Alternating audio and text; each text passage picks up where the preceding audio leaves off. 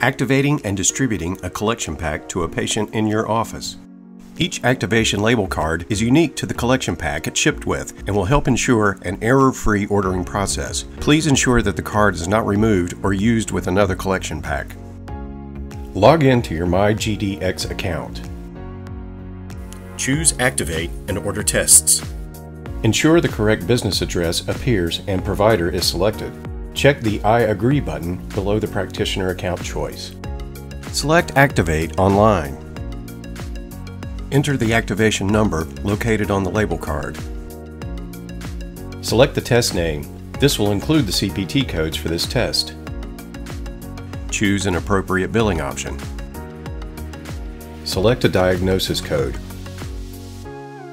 or search for a code. Select if the sample has or hasn't been collected. Enter the patient's name, date of birth, and sex. Fill out the optional insurance step or choose Skip.